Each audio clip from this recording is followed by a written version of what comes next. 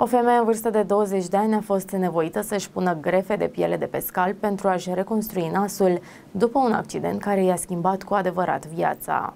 Tânăra a fost atacată de un câine când a plecat din casa tatălui ei din America, după o ceartă aprinsă cu acesta. Ea suferea răni care i-au schimbat viața după ce un pitbull a mușcat-o și a târât-o, lăsând-o cu leziuni grave la nivelul feței, urechilor și brațului. Fata a fost transportată de urgență la spital și a supraviețuit în mod miraculos, însă a trebuit să fie supusă mai multor intervenții chirurgicale. Una dintre intervenții a constat într-o grefă de piele prelevată din partea superioară a frunții și a scalpului și pusă în zona nasului. Cu toate acestea, a existat un efect secundar ciudat al procedurii, întrucât pe grefele prelevate de pe capul ei încă mai crește păr, nasul ei este păros. Într-un videoclip viral de pe TikTok, care are peste 5,7 milioane de vizualizări, Trinity își arată nasul reconstruit. Utilizatorii TikTok au rămas uimiți de postarea tinerei și au adresat o mulțime de întrebări precum este ceva ce se poate face cu laser în viitor sau este prea riscant fiind vorba de o grefă? Ai reușit să-ți îndepărtezi părul? În ciuda ciuda aspectului neplăcut cauzat de păr, mulți utilizatori s-au minunat de cât de bine a decurs operația de reconstrucție. E atât de tare, chirurgul tău a făcut o treabă extraordinară. Nu este treaba mea și probabil că nu-ți pasă de ce cred alții, dar este atât de drăguț nasul tău, relatează știrile protv.ro.